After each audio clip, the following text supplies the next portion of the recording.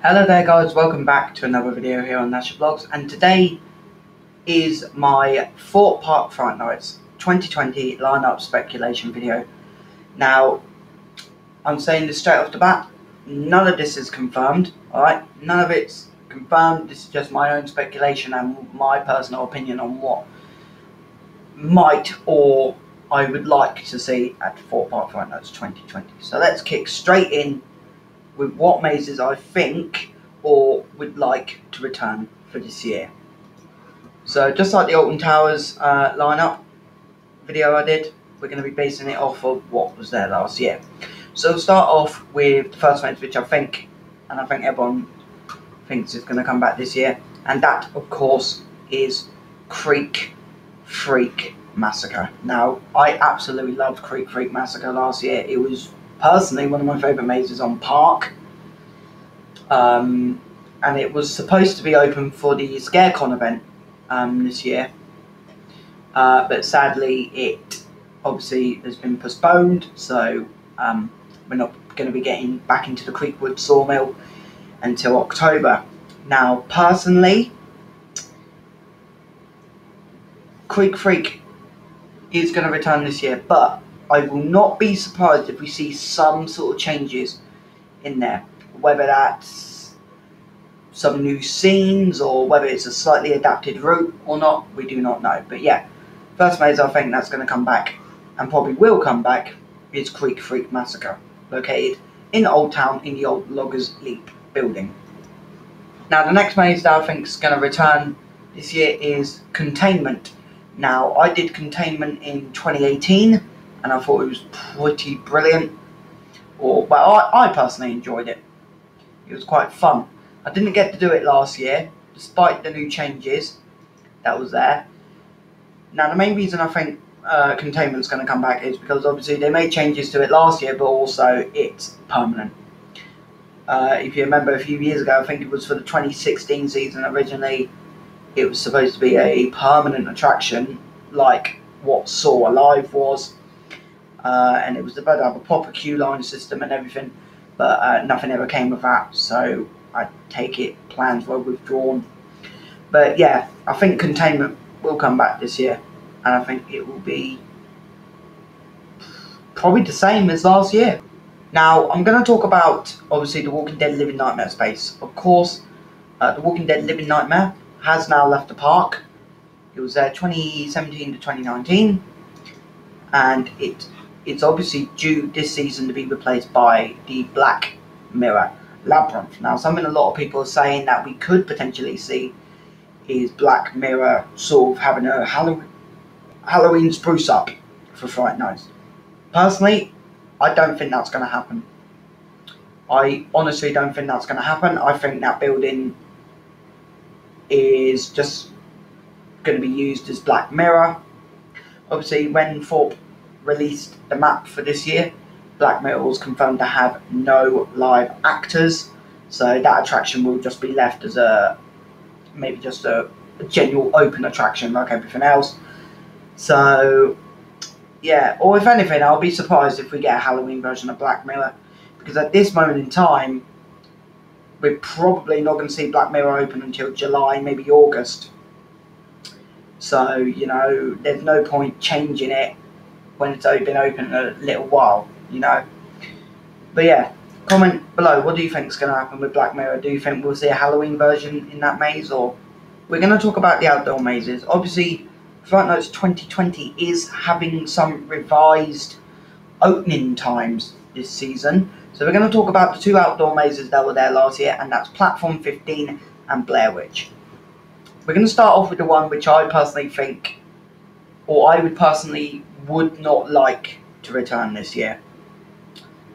And that, and a lot of people may agree with me, is Blair Witch. Now, a lot of people said they enjoyed Blair Witch last year. Me personally, after having time to think it over since the event, I'm not a huge fan of Blair Witch. Just due to the premise they had last year. On paper, it was good but it didn't actually work out. You know, it, it, it, was just completely confusing, and quite a lot of people have said that Blair Witch should go. And I think it should, really.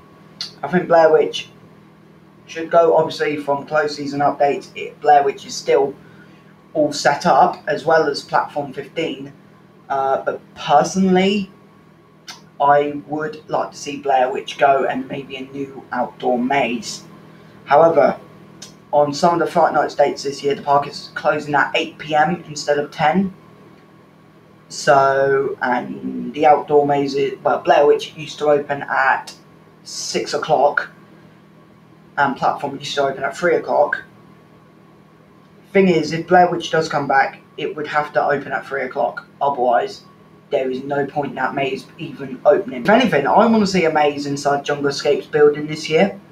Because I'm going to be totally honest, I don't think Jungle Escape's going to open when the park reopens. I genuinely don't think it's going to open. It. I have got a video planned on um, sort of talking about what I think, like what changes are going to be at Thorpe Park when we go when we go back eventually, hopefully in the summer. Uh, so keep an eye out for that one. Now we're going to talk about the other outdoor maze that was there last year, and that's Platform 15. What can I say about Platform 15 last year? Platform 15 has been my favourite maze for quite a few years. Now, I first did it in 2017 when we first got the Creek Village edition, and I've loved it every single year. Last year was good. The ending was actually I actually got a pretty good ending when when I went through. Platform 15. Do I think it's going to return this year? Yep, 100%. I think Platform 15 is going to return this year. What changes would I like to see? If anything, this is my big theory, and I'm going to be doing a video on this soon as well. Is that I would like Platform 15 to use some of Blair Witch, uh, sorry, the Dead Creek Woods slash Blair Witch route. I'd just love to see platform just get extended. I think, you know, like Blair Witch doesn't come back. I'd love to see platform extended, if anything. Uh, let me know if you agree. Would you like to see an extension of platform, or would you like it just to stay with the route it's got? Saying that, I think the shortest run through I've ever had on platform is about seven minutes, and the longest I've had is about 12 or 13 minutes, almost 15 minutes. And personally, I think it might be platform's final year. A sensitive subject that people are sort of, you know, talking about is the future of The Walking Dead Do or Die. Now, for those who do not know, The Walking Dead Do or Die used to be called The Walking Dead Sanctum, and that used to be located behind the Swarm and then Fright Nights 2018 it was rebranded The Walking Dead Do or Die, and it was moved uh, moved down to where My Bloody Valentine was in 2015. Now, I liked Do or Die last year, and 2018's Do or Die was decent, even though I had really good run throughs on it. But personally, personally, I think Do or Die is going to come back However, I think it's going to be its final year. I think we're only going to have one Walking Dead maze at Thorpe Park Fright Nights this year. Instead of having two, I think we're only going to have one. That's in my personal opinion. You know, that's my opinion. You can have your own opinions. Now, to finish off, I'm going to talk about two sort of non scare maze attractions. I'm going to talk about uh, Terror Amity High first, do I think it's going to come back? Definitely. I think Terror Amity High is going to come back for a third year. Obviously, it was a scare zone in its first year. And then last year it was a um, live show. Sadly, I didn't get to watch the live show when I was there. But I think it's going to come back this year because it, it went down really well and a lot of people were saying it was one of the best things at Fright Nights.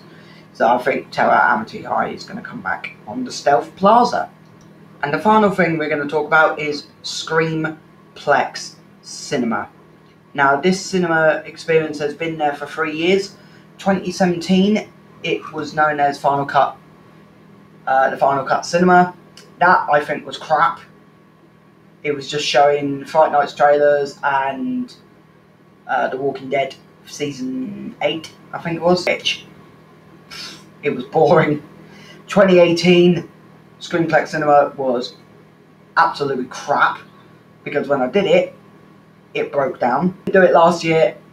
The main reason I didn't do it last year is I avoided it, mainly due to the past experience I've had with the Halloween sort of films being shown in the Angry Birds 4D cinema. Do I think Screamplexx is going to come back this year? No, personally. I don't think it's going to come back. And it's also another subject that's going to be brought up in uh, changes to Thorpe Park post coronavirus video that is going to hopefully be coming out soon. So yeah, that's that's my speculation for Thorpe Park Fright Nights 2020.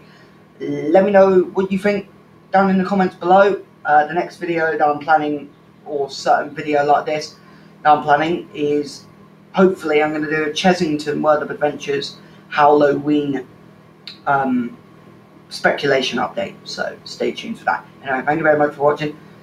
Like, comment, and subscribe. See you in the next video.